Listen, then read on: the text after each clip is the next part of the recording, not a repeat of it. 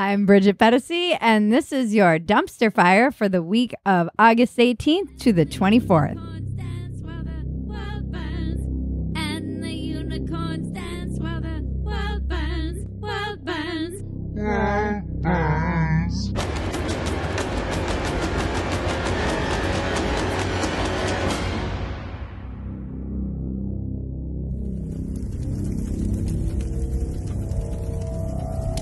So, folks, the week started off with our president calling himself the chosen one. Somebody had to do it. I am the chosen one.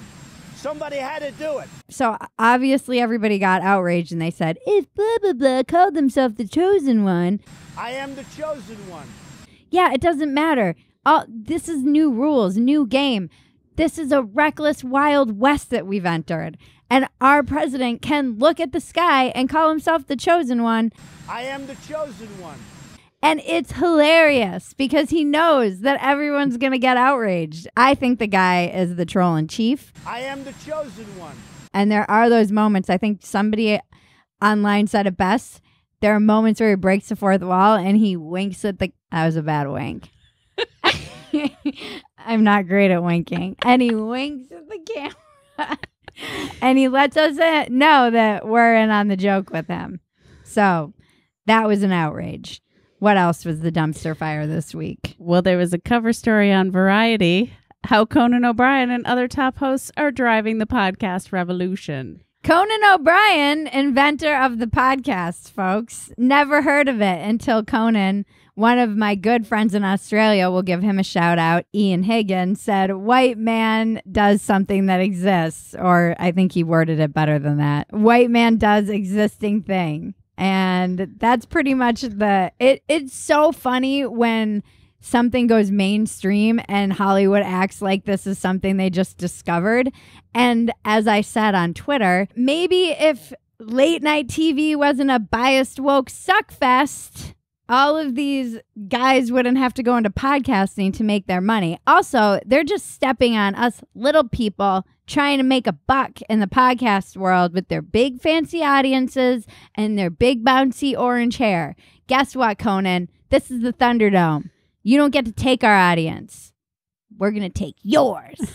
what else happened? The Atlantic wrote a piece. I don't even like to give them credit or mention them. A piece was written about Joe Rogan. It was about 8,000 words, a profile on his audience. Why is Joe Rogan so popular?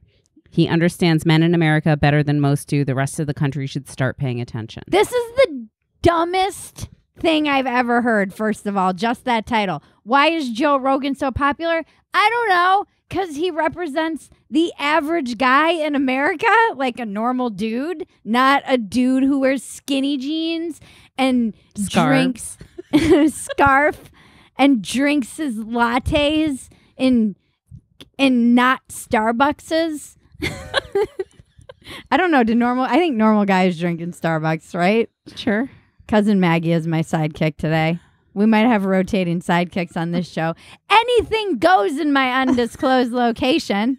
It feels like an insidious attack on Joe. I feel like there's this under, there's a passive aggressive hit on people like Joe who it felt like it was more disparaging of his audience. Like, oh, look at these normal men and what they like. This normal guy talking about things like, like, UFC and he brings these interesting people on and has discussions with untouchables, people you're not supposed to like.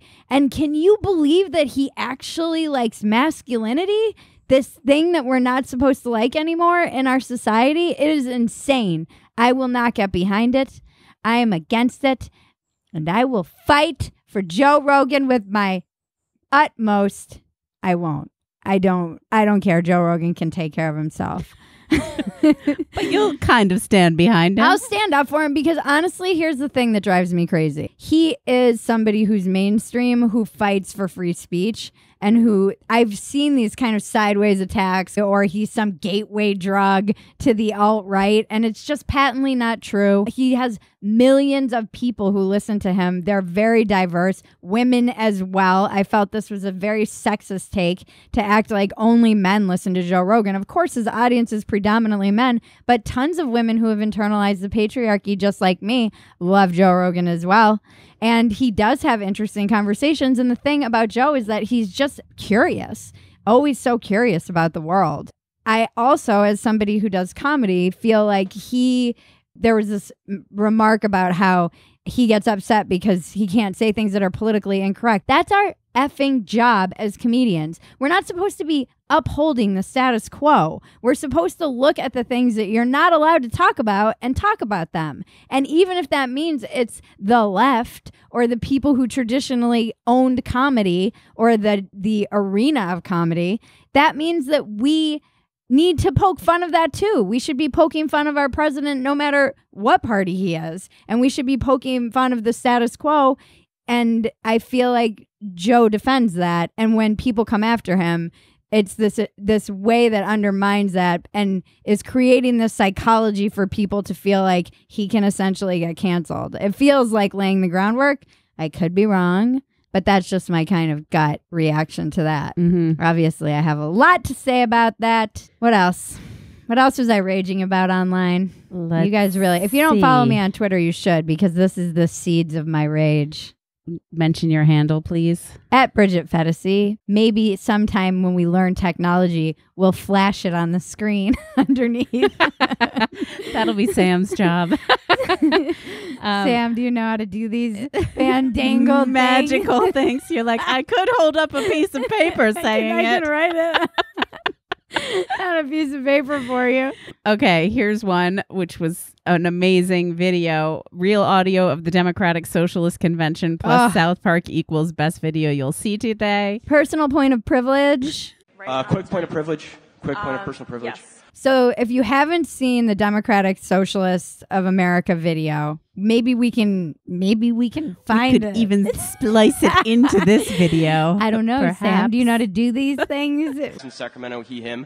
I just want to say, can we please keep the chatter to a minimum? I'm one of the people who's very, very prone to sensory overload. so, the Democratic Socialists of America video went viral weeks ago, and I have this refrain: "We're living in a South Park episode," and then someone spliced this together, and it was indeed like they are a living. in- perfect South Park episode. even the voices that those people actually have. Um, personal point of privilege. Privilege, point of personal privilege. Yes. Please do not use gendered language to to address everyone. It sounded like they were parodying themselves. And then there was the Trump painting called The Masterpiece. Oh gosh.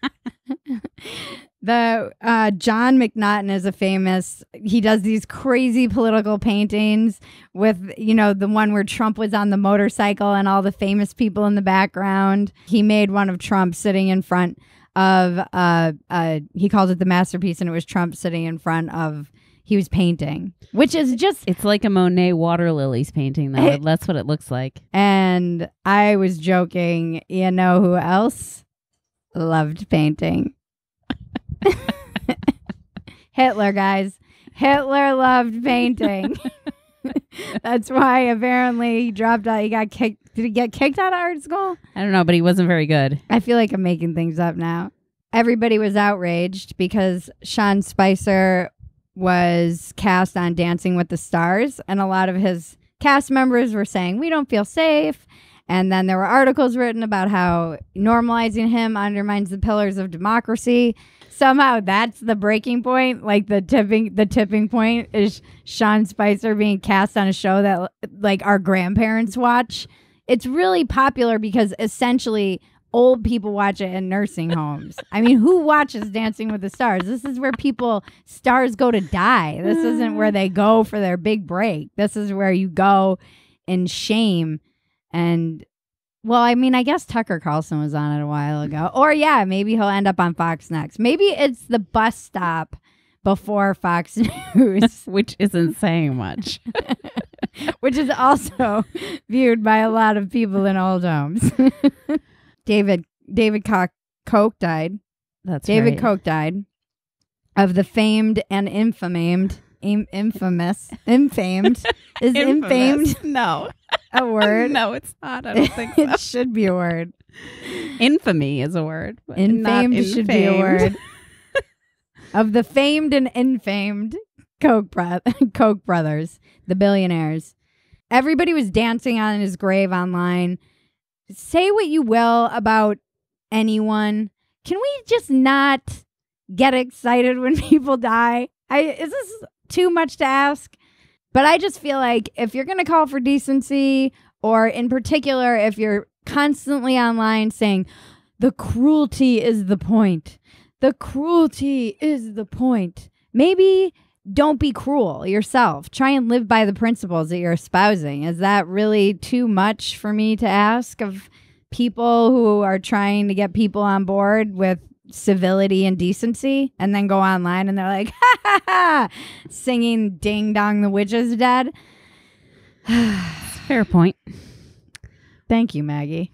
You're welcome. Maggie's the rep. I'm just your yes man over here. fair point. Fair point. Maggie will push back. Don't worry. She'll push back when I go a little off the rails, which is often.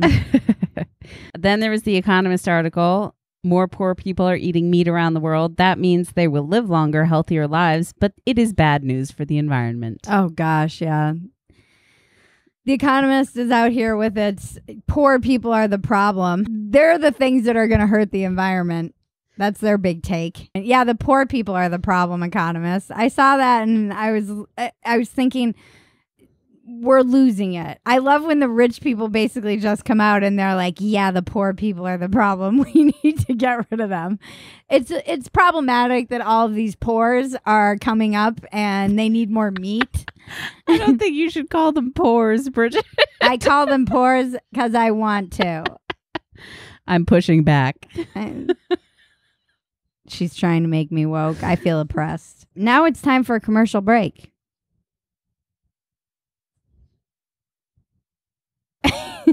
I'm the commercial break.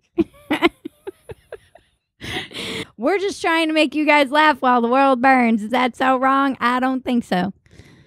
The Washington Post put out an article saying that dogs were bad for the environment, which they might be. If you want to alienate a whole bunch of people, tell them that dogs are the problem. And can we stop making everything a problem for the environment? As I said on Twitter, we're right one a couple of days away from the headline or the opinion piece. If you really care about the environment, kill yourself. I'm not advocating for that. I'm just saying that piece is coming if it hasn't already been written. And that's also going to be one of those pieces that is a fantasy because it sounds like satire. The New Yorker put out an opinion piece about what is it all about? The title was Renoir took a presumptuous slavering joy in looking at naked women in engaging show an engaging show at the Clark Art Institute in Williamstown, Massachusetts, centers on the painter's prodigious output of female nudes. They're trying to cancel Renoir. I'm sorry. Renoir. and this is what broke me this week. This is the thing. Every week, I'm sure there's a thing that breaks me, but this is the week that I was broken by Jean Claude Renoir. It's insane to me, first of all. Let me just rant. It's insane that this is happening, and I knew that this would happen because when you start finding everything when you're problematizing every single thing in society as being misogynistic or racist or sexist from the past, when you're judging the past from the context of the present, there will be a problem with everything. And you know who else does this? ISIS. they tear statues down. It's an ideology though, and you and you start looking back and saying anything that existed before this certain time period is problematic and we need to get rid of it. We've we've seen this over and over again, and now it's happening with Jean-Claude Renoir. And I will fight for Renoir with my dying breath. I've pushed back in my own way. You can Google it of of the puritanical right and the prudishness that exists sometimes in America, particularly around sexuality and nudity. And now I find that I'm having to do it with the the left too, which is crazy because these are the people who are supposed to be the most liberal and suddenly now I'm having to post pictures of my barren breasts in defense of Jean-Claude Renoir. And I'm not going to stand here and let this happen. I will go down with this ship Topless. naked. All right. Well, that's been my report from this week. This has been your dumpster fire for the week of August 18th to the 24th. I'm Bridget Phetasy. Now make me rich.